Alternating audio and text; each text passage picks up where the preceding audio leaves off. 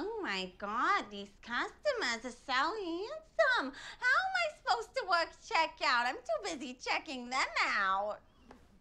Okay, thank you, Cheyenne. Now, now we know what it would sound like if Fran Drescher worked at Cloud.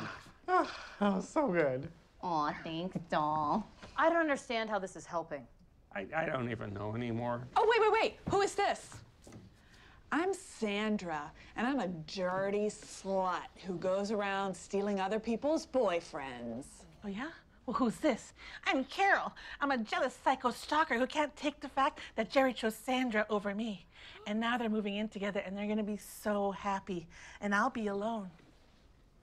Which is sad.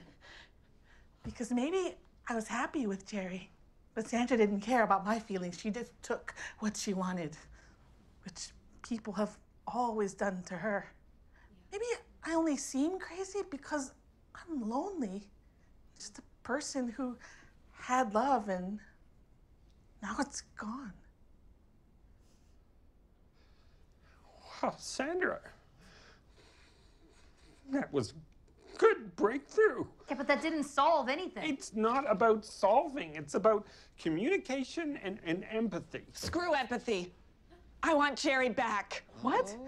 No. Finders keepers, that is the law. I think she should give him back. How do we decide? We could let Jerry decide. How about we flip a coin? Winner takes Jerry. Agreed? No, I don't think that's... I'm good with that. You guys, this is crazy. Let the coin do its work. Guys, listen, I'm not agreeing to give Jerry. Sandra, call it in the air. No, no, hands!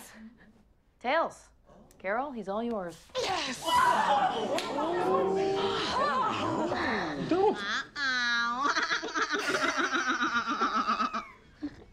So good.